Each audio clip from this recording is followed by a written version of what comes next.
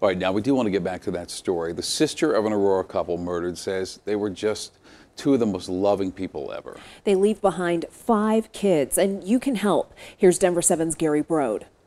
Jocelyn and Joe were the most loving people ever. A tragic end. They know that mom and dad are angels watching over them. Those are their words. A family changed forever. Mom and dad aren't going to be there for their wedding and graduations and stuff like that and grandchildren. Sammy Heckerman is the younger sister of Jocelyn Roland. We're coping, I, I guess is the best word to say. We're just going day by day, sometimes minute by minute of how we're feeling and trying to not have to relive this every moment. Jocelyn and her husband Joe were murdered the night of August 14th. I think there's still a lot of confusion behind a lot of what happened. The couple went to the Southlands Mall that night to buy a car from 18 year old Kyrie Brown. Court documents show Brown told police it was the wrong car, and so Jocelyn and Joe followed Brown to his apartment complex to buy the correct car. It was there, Brown admits he pulled a gun on Joe Roland and demanded money. When the father of five reached for the gun, Brown shot him and accidentally shot Jocelyn in the process. Brown was arrested and is facing first degree murder charges. I'm still in her house right now,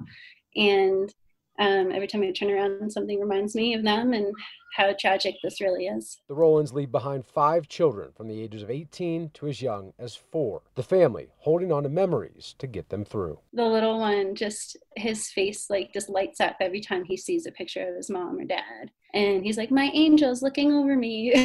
so, and he'll like go around and waving and kissing all their photos. Heckerman says the children will stay together and be raised with kindness and love like their parents would have wanted. I just want to make sure the kids grow up to know that they were loved and to know that their parents love them. And I want to make sure that that is instilled in them instead of the vengeance. In Aurora, Gary Brode, Denver 7.